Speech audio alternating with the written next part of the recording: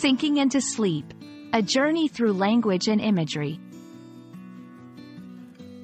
Hello and welcome to our channel. Today, we're diving into a beautiful and evocative phrase that often appears in English literature and everyday conversation, sinking into sleep. This expression is rich with imagery and meaning, and understanding it can enhance your language learning journey. Let's explore what it means, how it's used, and why it's so compelling. The phrase, sinking into sleep, uses the verb, to sink, which typically describes a gradual descent into a lower position, often driven by gravity. However, when combined with, into sleep, it captures the transition from wakefulness to sleep as a gentle, peaceful process. This metaphor suggests a natural, effortless movement towards a state of rest, evoking feelings of comfort and relaxation. It's as if sleep is a soft, welcoming place that one gradually falls into.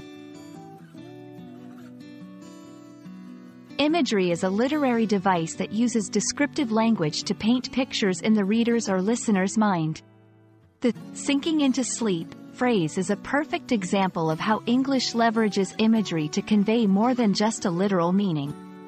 It invites us to imagine sleep as a sanctuary, a safe space where one can let go of the day's burdens and descend into tranquility.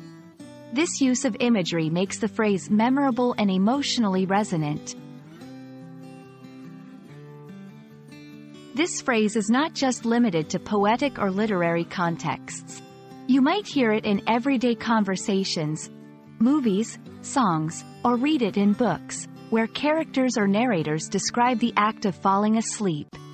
It's often used to emphasize a peaceful, undisturbed sleep or to describe the process of falling asleep after a long, tiring day.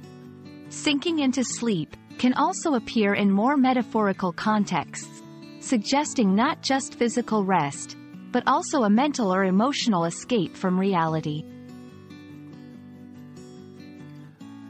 Understanding phrases like sinking into sleep enriches your English vocabulary and helps you appreciate the beauty and depth of the language.